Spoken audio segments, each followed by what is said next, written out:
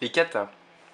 Jigoro Kano a créé le judo comme un moyen de connaissance et d'accomplissement personnel, et le kata en constitue le guide technique et théorique. Le kata doit donc être associé à toute pratique d'entraînement. Le kata est une méthode d'entraînement. Il a clairement un but éducatif. Le kata c'est quoi? Ce sont les exercices de style du judo, jujitsu. Ils doivent refléter le degré de connaissance et la maîtrise des exécutants. En japonais, le mot kata signifie forme fondamentale. Le kata du judo, jujitsu, c'est la démonstration des principes de base d'attaque et de défense suivant une progression rigoureuse. Résultat de l'expérience et de la réflexion des meilleurs et des plus anciens maîtres du judo, jujitsu. Il existe 8 principaux katas datant de l'école de pensée du Kodokan, la maison mère du judo. Tous les autres katas apparus par la suite correspondent à des apports des différents professeurs qui ont étudié d'autres visions tout aussi intéressantes de l'apprentissage du judo. Faisons un petit tour d'horizon des différents katas. Le Naje no Kata est la démonstration des principales techniques de Tashiwaza créé en 1907 par Jigoro Kano. Ce kata démontre le principe des techniques et de l'attitude. Tori et Uke doivent être en harmonie, ils sont partenaires. Le Naje no Kata doit être pratiqué avec sincérité.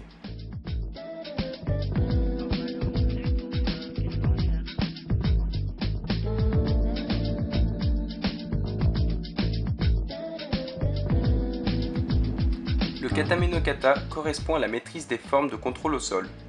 Il consiste à immobiliser véritablement le partenaire, étudier les dégagements, les déplacements, ainsi qu'une partie des clés de bras et des étranglements.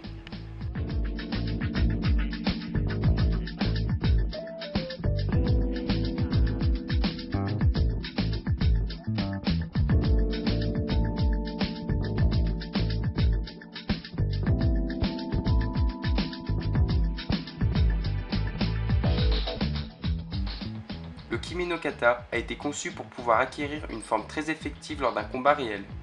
Il est celui de la décision. Le Kimi no Kata se compose de 8 techniques en position au sol et de 12 techniques en position debout, soit au total 20 techniques.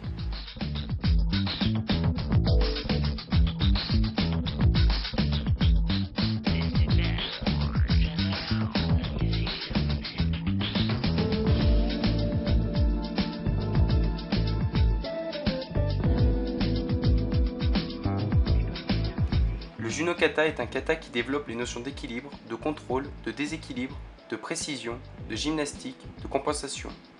Il se pratique sans chute. Il peut être exécuté sans judoji.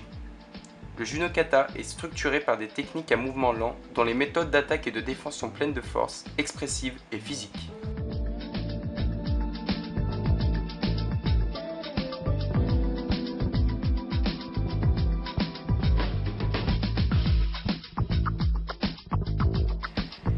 Le Goshin Jitsu.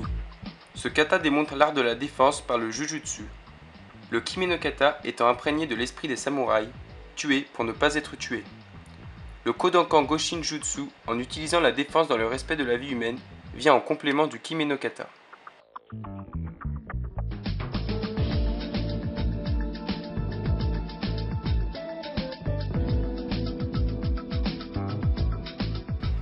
Le Kochiki no Kata est à l'origine un kata constitué pour le combat en armure des soldats. Il est donc bien évident que les déplacements, les esquives, le résultat des techniques sont différents d'un autre kata parce qu'il est pratiqué par des hommes vêtus d'armure. Malgré cet aspect, au premier abord quelque peu archaïque, il est d'un grand intérêt au judo car il démontre les principes logiques du combat.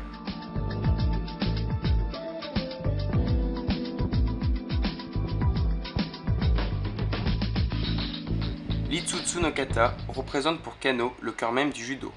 Ce kata permet au judoka de mettre en relation les formes basiques du judo avec une utilisation optimale de son énergie.